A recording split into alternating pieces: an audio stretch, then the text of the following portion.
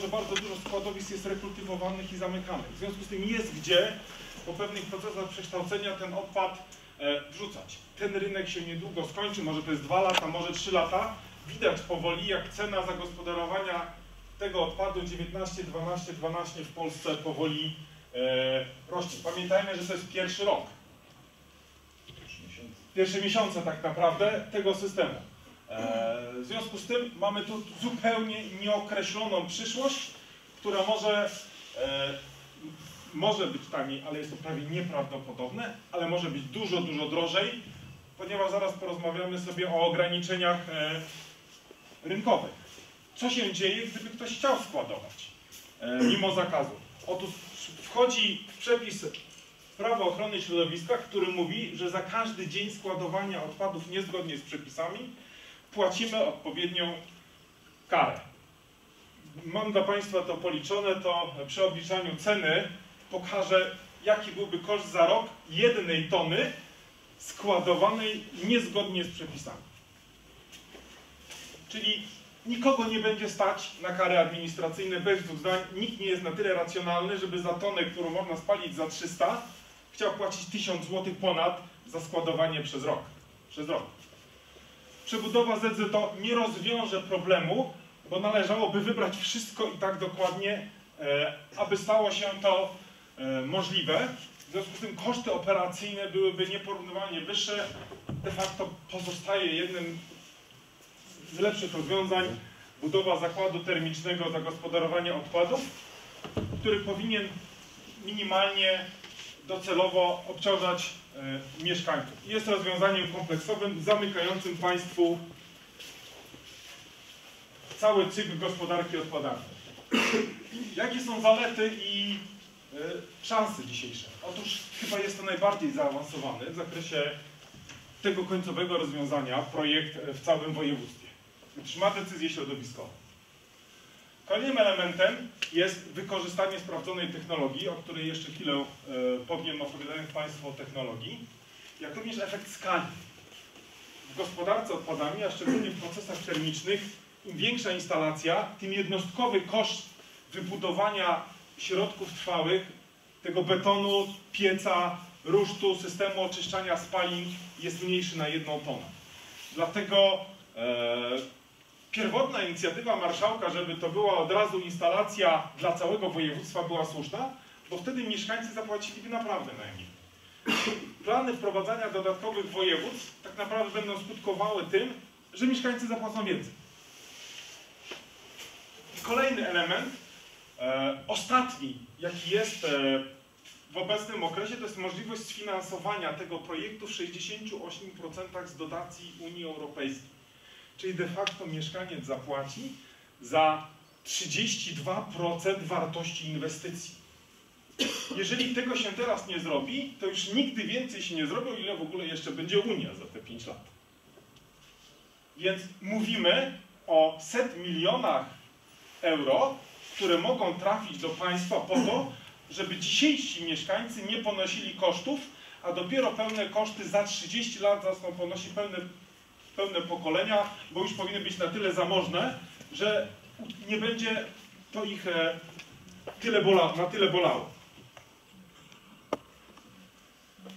E, również e, w ramach prac wykonana została prognoza, jak Państwo tutaj widzą, prognoza i symulacja strumieni odpadów na bazie założeń Krajowego Planu Gospodarki Odpadami i Wojewódzkiego Planu Gospodarki Odpadami, jak powinny kształtować się strumienie pochodzące z gmin, z gmin obsługiwanych przez te cztery ripoki, czyli Gdańsk, Łężyce, Tczew, Słupsk i Twizy. Otóż prognoza e, dla Tczewa jakby kształtuje się mniej więcej na wyrównanym e, poziomie. W tym scenariuszu założyliśmy że w, lat, w roku 2030 będzie trzeba odzyskać 70% materiałów, czyli 30% pozostanie nam do e, zagospodarowania termicznie. Możemy powiedzieć, że w naszej prognozie w 100% strzeliliśmy się, robiliśmy ją rok temu, e, w dzisiejszy Krajowy Plan Gospodarki i Wojewódzki Program Gospodarki Odpadami. Dlatego tak zaprojektowana instalacja na 160 tysięcy ton jest bezpieczna, jest dostosowana do potrzeb tych pięciu ripoków jest zgodna z WPGO i zamyka Państwu kompletnie system gospodarki odpadami. Można powiedzieć, że macie Państwo spokój na kolejne 30 lat. Problem gospodarki odpadami można już tylko zostawić tym, którzy wożą śmieci i je spalają. Mielibyście Państwo okazję dołączyć, bo taki jest e, ten projekt, do, jako piąta spalarnia, ale bardzo wyjątkowa spalarnia. Otóż te wszystkie spalarnie pozostałe są spalarniami na odpady zmieszane. E, dzisiaj stoją przed bardzo dużym wyzwaniem. Szukają w sposób dramatyczny i zdesperowany odpadów, bo już wiedzą, że zgodnie z wojewódzkim programem i z polityką będą mogły spalać 30% tego, co zakładały, że dostaną. A zostały zaprojektowane na 100% odpadów zmieszanych. W związku z tym e, dzisiejsze akcje marketingowe tych spalarni nie na, należy traktować z pewnym przymrużeniem oka. One nie mogą być tańsze niż ta spalarnia, ponieważ mają dokładnie taką samą technologię, korzystają z tych samych materiałów, więc dzisiaj tylko próbują ratować sytuację jeżeli gdzieś rekompensują, to jest to ukryte w systemie dopłatowym, e, żeby pokazać inną cenę niż my będziemy Państwu pokazywać. Zresztą mogę uczciwie powiedzieć, że przy większości z nich byłem przy opracowaniu studiów wykonalności i ceny, które są faktyczne, wcale nie są takie, jakie dzisiaj wyszły na rynek. W ramach systemu gospodarki odpadami rekompensuje się część kosztów e, tak, żeby politycznie to dobrze wyglądało, a że mieszkańcy płacąc podatku od nieruchomości albo z innych rzeczy to nawet nie widzą jakby transferów, jakie trafiają do spółki.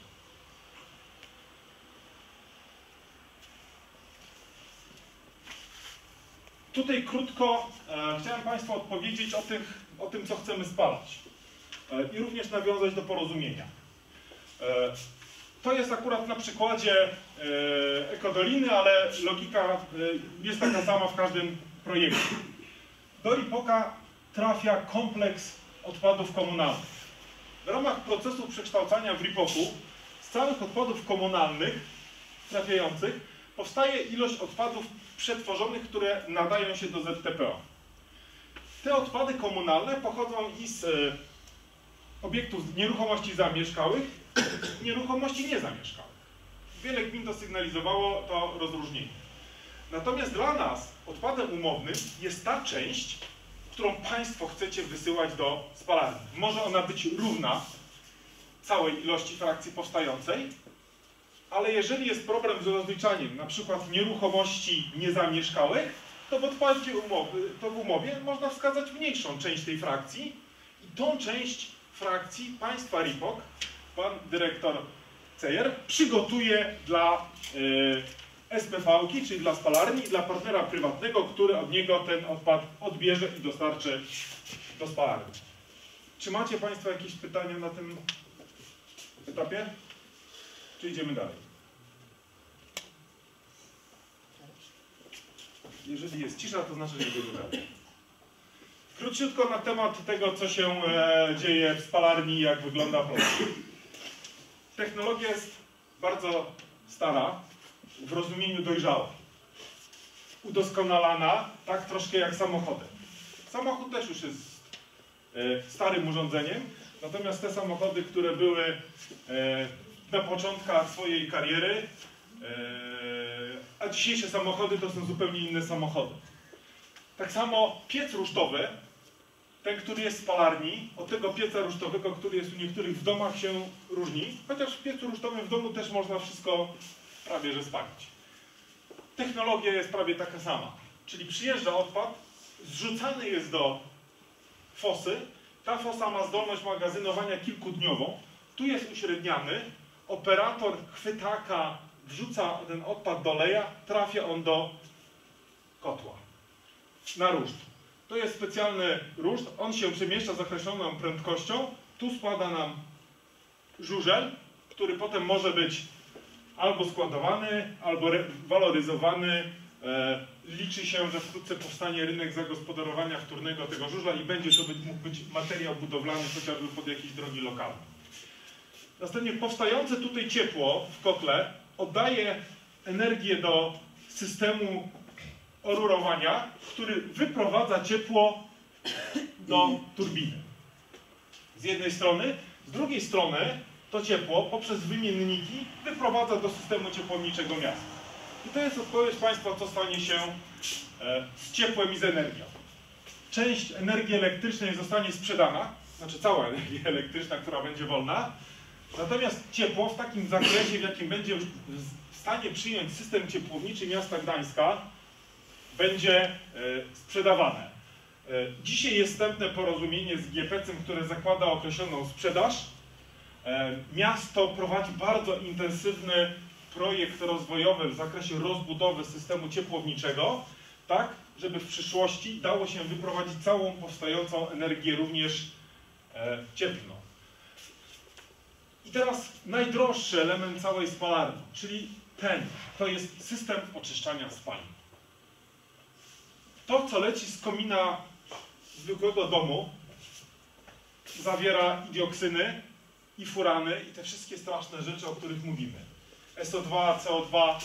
Natomiast ten system kilkustopniowy, który kosztuje prawie tyle, co, co cała reszta, wypuszcza prawie że czyste powietrze.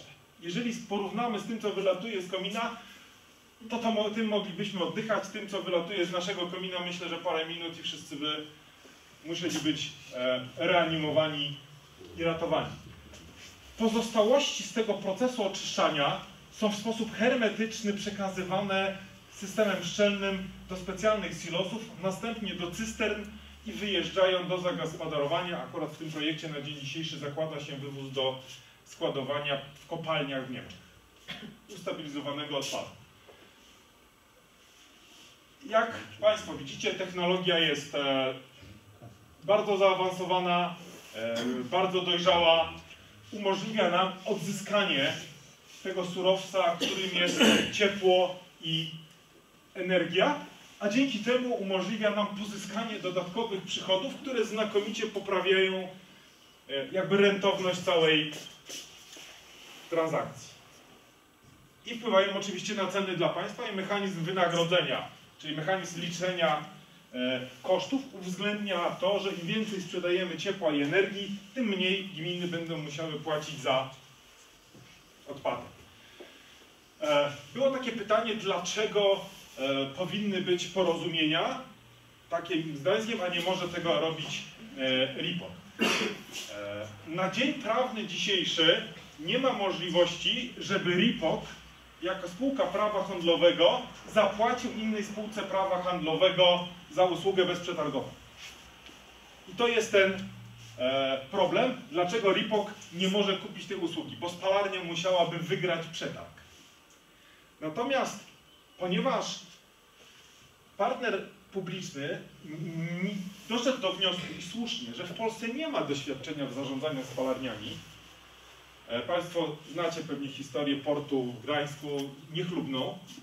E, dlatego e, przedstawiciele RIPOK-ów stwierdzili, że nie będziemy budować w trybie projektu i buduj sami eksploatuj, bo nie wiemy. Nie ma doświadczenia, nie ma w Polsce know-how, dlatego gwarantem tego, że to będzie dobrze wybudowane, a przede wszystkim właściwie eksploatowane jest partner prywatny, który eksploatuje dziesiątki takich instalacji i jest gwarantem bezpieczeństwa. Ale partner prywatny, który ma wyłożyć ileś milionów, nie jest zainteresowany udziałem w przetargu, bo ma ryzyko, że nie weźmie, nie odzyska pieniądza, e, który zainwestował, nikt mu nie zapłaci za jego usługę. Poza tym budowanie instalacji na 160 tysięcy bez gwarancji, że dopłynie do niej e, odpad, nikt z Państwa by takiej decyzji nie podjął, kto się zajmuje biznesem, czyli wybudowanie sklepów, gdzie nie ma klienta. Ponieważ mamy tutaj pewien monopol komunalny, dlatego że gmina jest monopolistą, ma możliwość zmonopolizowania gospodarki odpadami i zresztą to robi.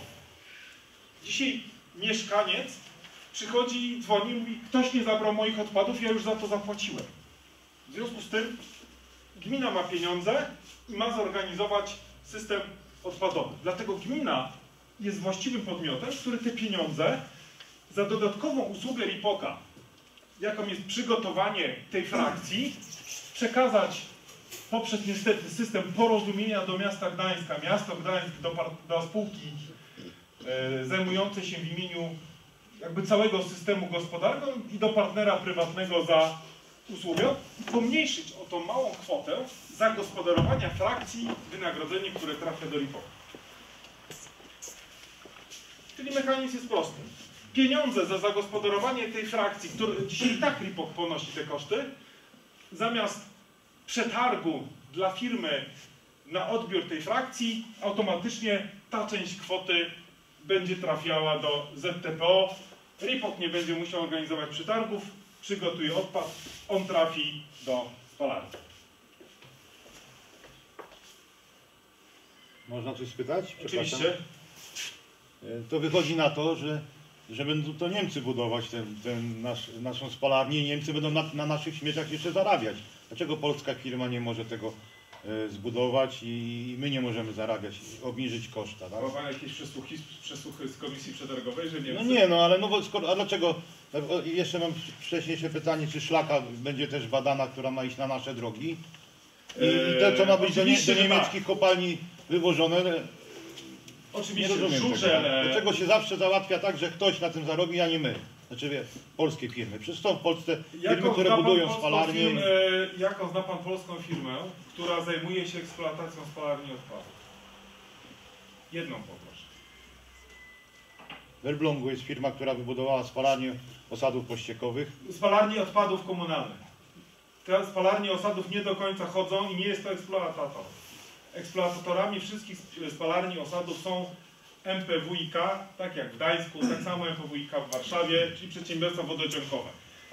Jedynym eksploatatorem w Polsce jest zakład utylizacyjny w Warszawie, który zbudował we włoskiej technologii i historia tej spalarni jest długa i myślę, że można poczytać, jak fatalnym pomysłem było to, że został zbudowany w żółtym Również dzisiaj na stronach tych, co budowali spalarnię, dzisiaj są przetargi na doradztwo przy eksploatacji. W dalszej, Ale- części, w dalszej części prezentacji będą wymienione firmy, które uczestniczą w naszym projekcie.